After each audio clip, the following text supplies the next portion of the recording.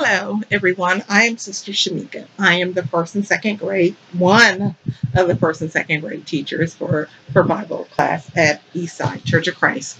Um, I want to welcome everybody. I want to say hello to you guys for the ones that I've seen last year. I want y'all know I do miss y'all, y'all so, so, so, so very much. I pray that you guys are continuing to keep keeping safe and not giving your parents such a hard time. Well, let's get right into this. We are going to explore Moses, the story of Moses. Moses is a very beautiful story. It's also in the Bible. It's in the Bible in Exodus 1, Exodus 1 through 22. We're going to talk about baby as Moses. We're going to start at book of Exodus 1, 22 through Exodus chapter 2. And I'm going to tell you guys a story about Moses as him as a baby. Um, I thought about reading the Bible, but I want to give y'all some pictures, something else to look at. And also, I have some other things that's going to be emailed. I have to figure out how we're going to do that. But either I'm going to email it, put it in the email, you'll get it, or you can email me back. I will have questions at the end. Keep in mind, if you can answer these questions, you will get a prize we all eventually come back together because we are going to come back together. So, with that being said, welcome you guys. And let's start off by saying a prayer. Please close, bow your head and close your eyes. My dear Heavenly Father, we come to you at this time. We want to thank you. Thank you for watching over us. Thank you for watching over our parents. Thank you for keeping us all safe.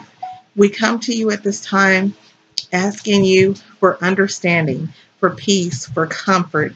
We come to you giving you, telling you that we love you and we thank you.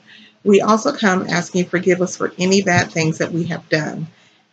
And we know sometimes being cooped up in the house, we tend to get restless, but we, we pray that we can get it together and we ask you for your forgiveness. Please continue to watch over us and guide us in Jesus' name. Amen. Okay, so let's start off with the story. So I'm going to hold up pictures. You're not going to see my face but pay attention to the pictures because I may have questions. Let me make sure. Can y'all see that? Yes. Okay. Long ago and far away, at a time after after the beginning, after Noah and the flood, after Abraham and Isaac, after Jacob and Joseph, the children of Israel were slaves in Egypt. But Pharaoh was afraid of them. They were so many Hebrew slaves, so many men and women, so many boys and girls. Hmm. Pharaoh thought of a bad plan. Kill all the Hebrew babies, he ordered. What? Kill all the Hebrew baby boys? Hmm. Amram and Jochebed was Hebrew slaves. They had a baby boy. They kept the baby in secret for a while, but Jochebed knew she couldn't hide him much longer. So night after night, Jochebed put together wreaths, which wreaths is actually she's she's making some. She's making a basket. That's what she's doing.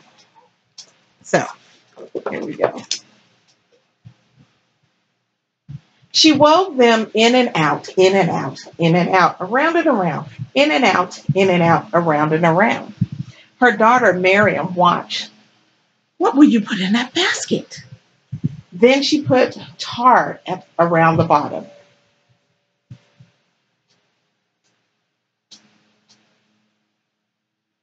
Now the basket will float. Miriam said, What will you put in that basket?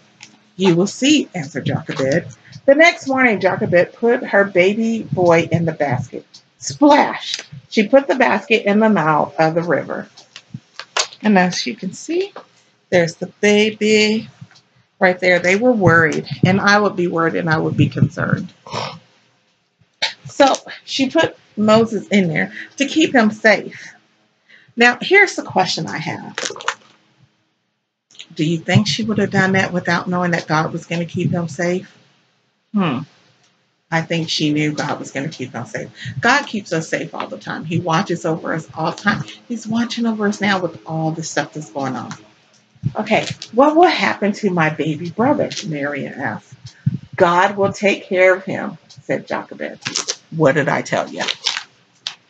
And he did. Miriam waited and watched. Pharaoh's, Pharaoh's daughter found the basket. Now, remember, Pharaoh was the bad man who wanted to to get rid of all the baby boys.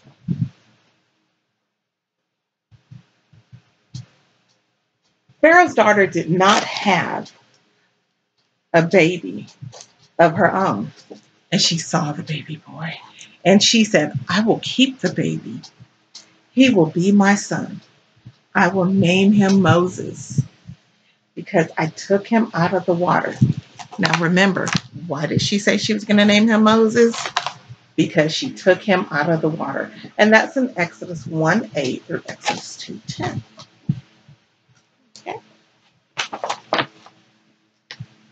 The baby Moses grew older. The baby Moses became a little boy.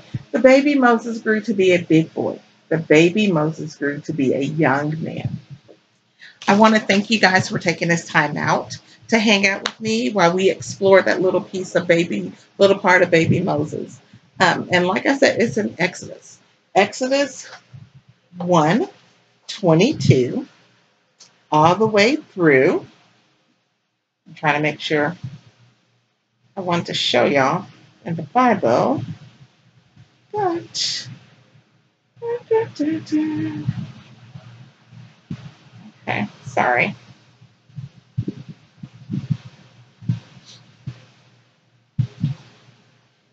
It goes all the way to Exodus 2 to um, verse 10.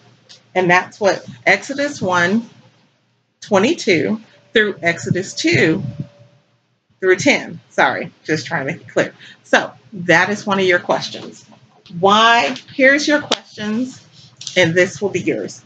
Why did she name the baby Moses? That's one of your questions. Oh, sorry. Why did she name him name the baby Moses? That's one of your questions. The other question was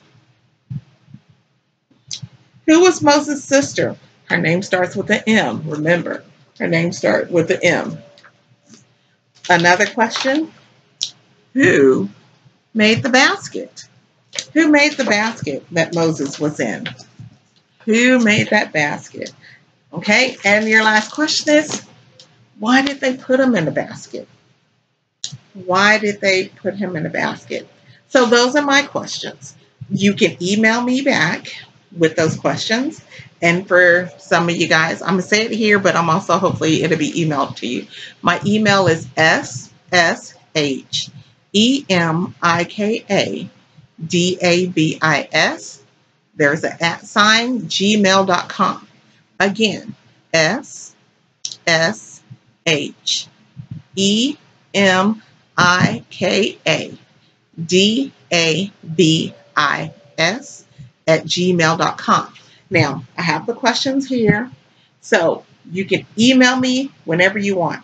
So everybody who emails me, you can um, and give me the answers. Um, I will keep a tally, and at the end, for all the questions that you get right, there will be something for you. I pray that you guys have a wonderful week. I will see you next Sunday as we continue to explore our story of Moses. You guys have a wonderful day. Remember, Sister Shamika loves you guys very much. And remember, don't forget to read the B I B L E. Yes, that's the book for me. I stand up on the word of God, the B I B L E. I have some other songs, but we can't sing them because we have some new people and I know y'all don't know them. All right, you guys have a wonderful day. Thank you.